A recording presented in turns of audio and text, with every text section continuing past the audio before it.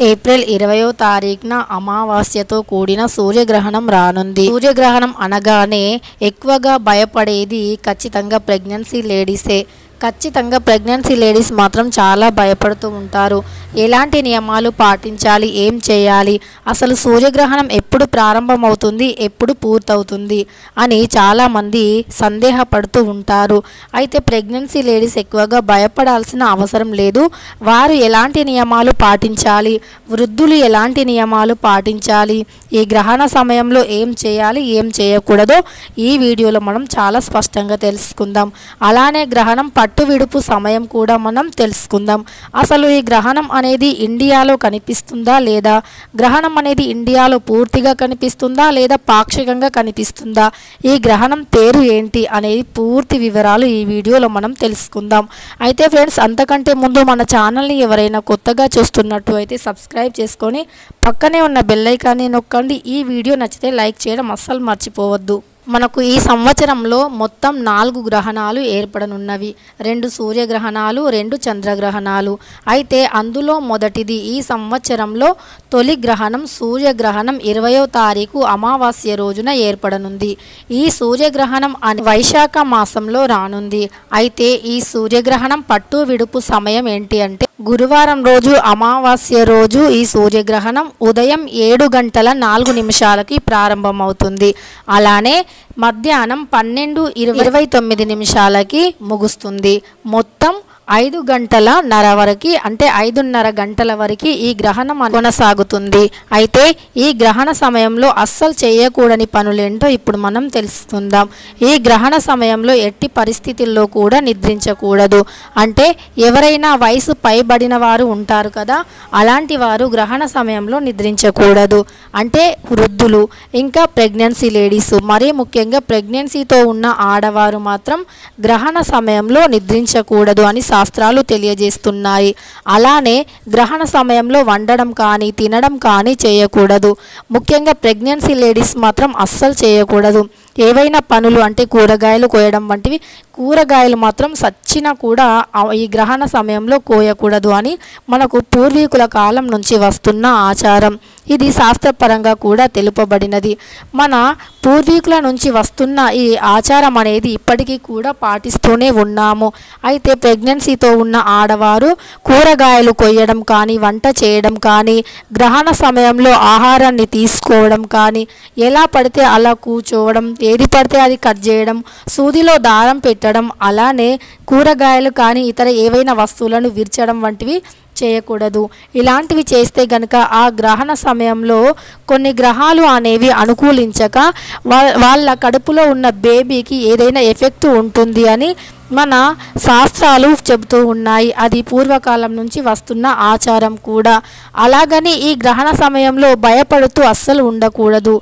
Pregnancy ఆడవాళ్ళు పూర్తిగా ఆధ్యాత్మికంగా గడిపివేయాలి ఈ గ్రహణం సమయంలో. అలానే ఎలా పడితే అలా పడుకోకూడదు. మన ఇంట్లో పెద్దవాళ్ళు ఏ విధంగానైతే జాగ్రత్తలు చెబుతూ ఉన్నారో ఆ విధంగా పాటించాలి. పెద్దల మాట పెడచెవిన పెట్టకూడదు. పెద్దల మాట ఎప్పుడూ కూడా వింటూ ఉనా- ఉండాలి. అయితే గ్రహణ సమయంలో మీరు నిటారుగా పడుకొని ఉండాలి. మీ వేళ్ళు కానీ కాళ్ళు కానీ ముడుచుకొని ఉండకూడదు. ముఖ్యంగా ప్రెగ్నెన్సీ లేడీస్. అలానే వంట చేయడం వంటి పనులు కానీ గ్యాస్ పొయ్యి దగ్గరికి వెళ్ళడం కానీ అస్సలు చేయకూడదు. ఇక మీరు అసలు గుర్తుంచుకోవాలి. మీరు ఏ పనిని కూడా ఈ గ్రహణ సమయంలో చెయ్యనే చేయకూడదు చాలా జాగ్రత్తగా ఉండవలసి ఉంటుంది. ఏవైనా వస్తువులను విరచడం కానీ తెంచడం కానీ అలానే కుచ్చడం కానీ కట్ చేయడం కానీ పదునైన వస్తువులను ముట్టడం కానీ ఇలాంటివి చెయ్యకూడదు. అలాగని గ్రహణ సమయంలో భయం భయంగా టెన్షన్ టెన్షన్గా కూడా అస్సలు ఉండకూడదు. అలా టెన్షన్గా మీ ఫేస్ పైన ఉంటే కనుక మీ బేబీ కూడా అవే అంటే మీకు ఏదైతే టెన్షన్ టెన్షన్గా మీ ఫేస్ ఉంటుందో ఆ విధంగా బేబీ క్వాలిటీస్ అనేవి రావడం జరుగుతుంది అని మనకు పెద్దలు చెబుతూ ఉంటారన్నమాట. మనం గ్రహణ సమయంలో చాలా ప్రశాంతంగా ఉండాలి. ఎలాంటి అపోహలు భయాలు పెట్టుకోకుండా నార్మల్గా ఉండాలి. అలాగని ఏది పడితే అది మాత్రం తినడం వండడం ఇలా చేయడం మాత్రం చేయకూడదు. ఎట్టి పరిస్థితుల్లో ఇల్లు ఊడవడం కానీ కూరగాయలు కట్ చేయడం వంటివి మాత్రం అస్సలు చేయనే చేయకూడదు. ఇక అంతేకాకుండా గ్రహణ సమయంలో గ్రహణం నుండి వచ్చే కాంతి అనేది మీ శరీరం పైన పడకుండా ఉండే విధంగా చూసుకోండి. అంటే మీ ఇంట్లో ఉన్న కిటికీలు కానీ డోర్స్ కానీ అన్నీ కూడా మూసివేసి ఉంచండి. అంతే తప్ప గ్రహణం యొక్క నీడ కానీ కిరణాలు కానీ మీ శరీరం పైన పడే విధంగా మాత్రం ఉండకూడదు. అలానే గ్రహణాన్ని నేరుగా అసలు చూడనే చూడకూడదు.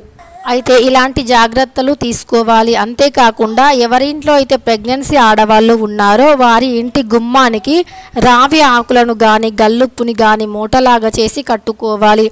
అలా చేయడం వల్ల గ్రహణం నుంచి వచ్చే నెగిటివ్ ఎనర్జీ అనేది ఇంటి లోపలి వరకు రాకుండా ఉంటుంది.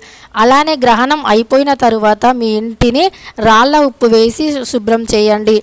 అలానే ఇంటిని రా- రాళ్ళ ఉప్పు వేసి శుభ్రం చేయండి. అలా రాళ్ళ ఉప్పు వేసి శుభ్రం చేసిన తర్వాత పసుపు నీటితో ఇల్లంతా కూడా చల్లండి. అలా చేయడం వల్ల గ్రహణం యొక్క నెగిటివ్ ఎనర్జీ అనేది ఇంట్లో ఉండకుండా ఉంటుంది. ఇక అంతేకాకుండా గ్రహణం కంటే ముందే మీరు ఇంట్లో మీ యొక్క బియ్యం డబ్బాలో మీరు తాగే నీటిలో ఉప్పు డబ్బాలో పప్పు డబ్బాలో ఇలా మనం వాడే అన్నింటి అన్ని వస్తువుల్లో కూడా మీరు దర్భగడ్డిని వేసుకోండి. ఇలా వేయడం వల్ల మీ ఇంట్లోకి గ్రహణం వల్ల వచ్చే నెగిటివిటీ అనేది రాదు. ఒకవేళ వచ్చినా కూడా ఆ నెగిటివిటీ అనేది మనకు దర్భగడ్డి అనేది తీసుకోవడం జరుగుతుంది. అసలు దర్భగడ్డి అంటే ఏంటి అనే కదా మీ సందేహం? అయితే గరిక గణపతికి ఎంతో ఇష్టమైనటువంటి గరిక. ఈ గరికను గ్రహణ సమయంలో మన ఇంట్లో అన్ని ప్రదేశాల్లో అన్ని వంట సామాన్లలో ఉంచడం వల్ల మనకు గ్రహణం నుండి వచ్చే నెగిటివిటీ అనేది ఆ వస్తువుల పైన పడకుండా ఉంటుంది. ఇక మన వస్తువులను ఫుడ్ పాయిజన్ చేయకుండా కాపాడుతుంది ఈ గరిక. అలానే గ్రహణ సమయంలో ఎవరైనా బయటకి అత్యవసరం పైన వెళ్ళవలసి వస్తే గనుక వారితో పాటు కూడా ఈ గరికను తీసుకొని వెళ్ళండి. అంటే వారి జేబులో కానీ లేదా వారి పర్సులో కానీ గరికను పెట్టుకొని బయలుదేరండి. ఇలా చేయడం వల్ల గ్రహణం యొక్క నెగిటివ్ ఎనర్జీ ఆ గ్రహణ యొక్క కాంతి అనేది మీ పైన నెగిటివిటీని చూపకుండా ఉంటుంది. అంటే నెగిటివ్ ప్రభావం అనేది మీ శరీరం పైన పడకుండా ఉంటుంది. ఇక అంతేకాకుండా ఈ గరికను ఇంటి గుమ్మానికి కూడా కట్టుకోవచ్చు. ఒక ఎర్రటి వస్త్రంలో కానీ లేదా గరికను మాలలాగా తయారు చేసి కానీ ఇంటి గుమ్మానికి కట్టుకోవడం వల్ల ఆ గ్రహణం యొక్క నెగిటివ్ ఎనర్జీ అనేది మీ ఇంటి పైన పడకుండా ఉంటుంది. ఇక ప్రెగ్నెన్సీ లేడీస్ మాత్రం ఎలాంటి అపోహలు భయాలు పెట్టుకోకుండా ఆధ్యాత్మికంగా ఆహ్లాదకరంగా ఆనందంగా గడపడానికి ప్రయత్నించండి. కానీ ఎట్టి పరిస్థితుల్లో కూడా మీరు కూరగాయలు కట్ చేయడం వంటివి కానీ ఇతర పనులు చేయడం కానీ చేయకూడదు. నిటారుగా పడుకొని ఉండాలి. కాళ్ళు చేతులు ముడవడం వంటివి కూడా చేయకూడదు. ఇక నిటారుగా పడుకొని ఆధ్యాత్మికంగా మీ మనసులో దైవాన్ని ఆరాధిస్తూ మీరు ప్రశాంతంగా ఉండడానికి ప్రయత్నించండి. అలా చేస్తే గనుక గ్రహణం యొక్క ప్రభావం అనేది మీ పైన పడదు. అంతేకాకుండా ఈ గ్రహణం యొక్క నెగిటివ్ ప్రభావాలు అనేవి కొన్ని రాశుల వారిపైన పడడానికి చాలా ఎక్కువగా అవకాశం ఉంది. ఆ రాశులు ఏవి అంటే మేషరాశి కుంభరాశి మీనరాశి కర్ కర్కాటక రాశి వంటి రాశులపైన ఈ గ్రహణం యొక్క నెగిటివ్ ఎనర్జీ పడడం జరుగుతుంది.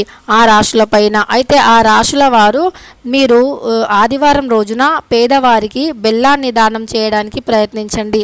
అలా బెల్లాన్ని దానం చేయడం వల్ల మీకు అన్నీ కూడా అనుకూలమైన వాతావరణాలు ఏర్పడతాయి. మీరు ప్రతికూల వాతావరణం నుంచి బయటపడగలుగుతారు. ఇక ఈ వీడియో మీకు నచ్చింది అనిపిస్తే ఖచ్చితంగా ఒక లైక్ చేయడం మాత్రం అస్సలు మర్చిపోవద్దు.